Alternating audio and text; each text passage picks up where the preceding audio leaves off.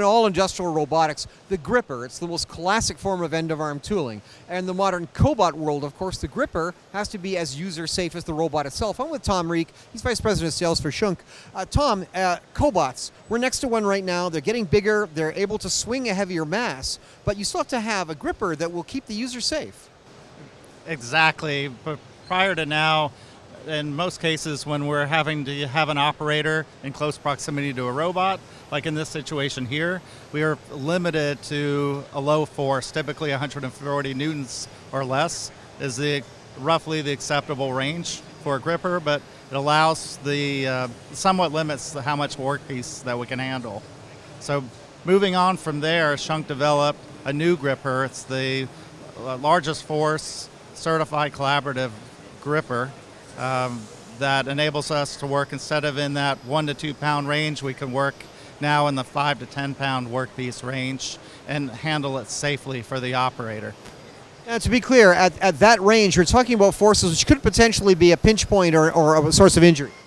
Exactly. So once you're handling parts that the way up in that area, you have to have forces that exceed that normal 140 newtons.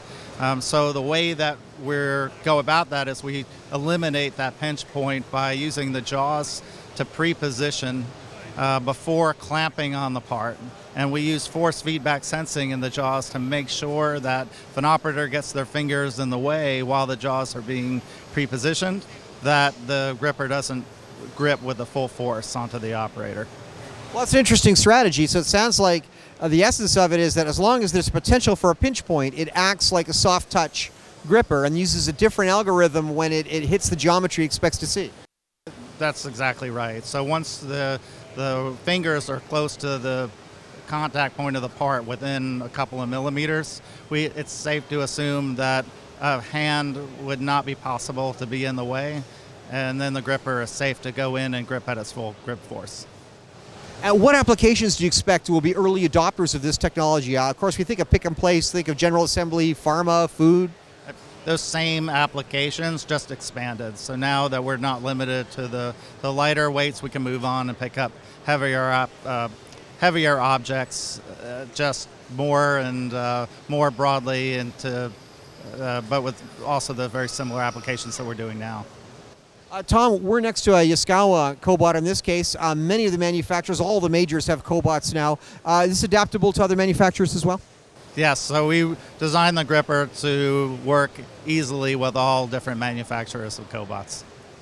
Uh, Tom, the, the, more I think of it, the more I think that cobots, of course, have been around for several years now.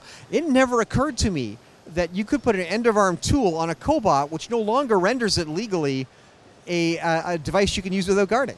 Well, that's that's right, and generally what we've been doing to meet those needs when those applications arise is that in the past what uh, happens is that you add external sensors surrounding the cobot where standard grippers pick and grip the parts in areas where operators can't be in close contact with the robot. And so when parts are picked up and delivered, um, even using a cobot, they have to be uh, picked from a point where an operator can't be close by. Now with a gripper like this, you can. Tom Reek at Schunk with a gripper technology which allows a cobot to truly be safe in every aspect of its operation.